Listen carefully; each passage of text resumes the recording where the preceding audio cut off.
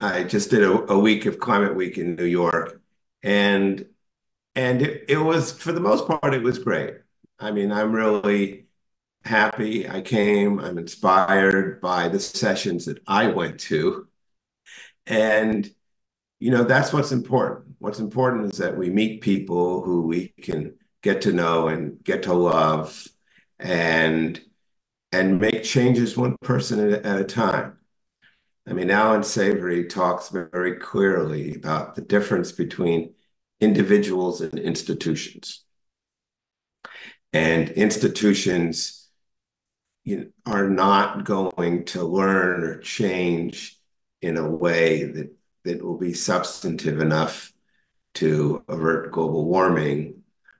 But, but individuals can, and maybe you know new institutions will evolve um, or slowly slowly institutions will change.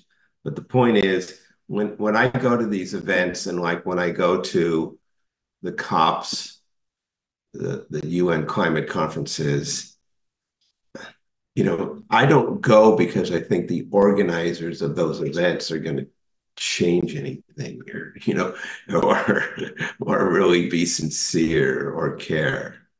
Um i go because i know that there's good people there who are also going. And and i want to meet with them. And we're we're building coalitions.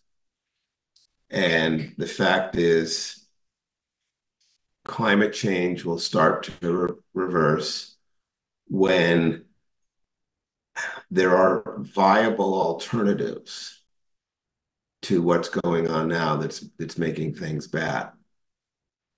And um, you know, in the in the energy sector, it's just so obvious um,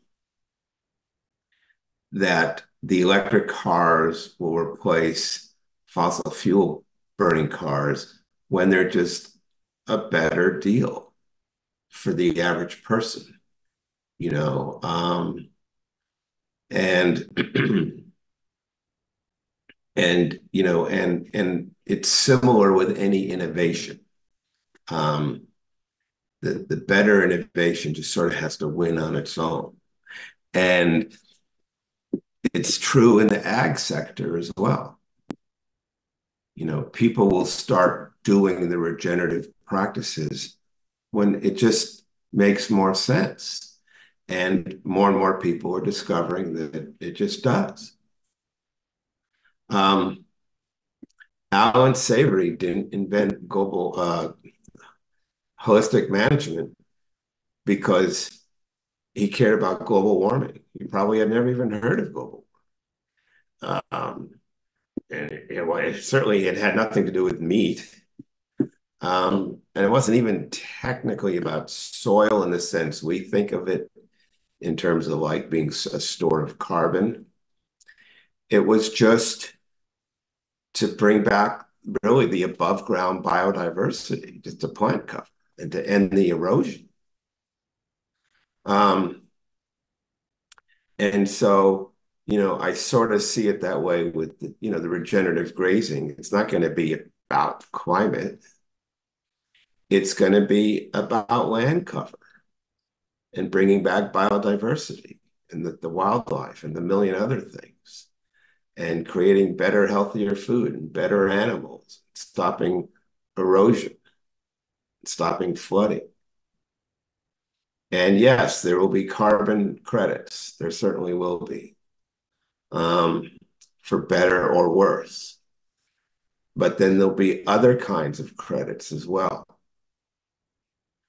Um, and there'll be some of them will be scams, but some will be real. I mean, the the the the um the ecosystem of different human activities and management systems and accounting systems, the whole thing is slowly evolving. And and I just see that it's just going to get better, not worse. You know, the fact that some carbon credit schemes have been abused, um, you know, that's too bad. you know, and lots of and labels have been abused, you know. That's that's too bad. But but some are sincere. And some are doing a good thing and setting a good precedent. And that's that's really where we want to um, we just want to focus our energy on that. And um, you know, I'm meeting people and organizations who are who the organizations themselves are largely um, um, you know in the in the hands of, of big ag and big money and they may be using those organizations for a certain greenwashing. But there's still good people there trying to do the right thing.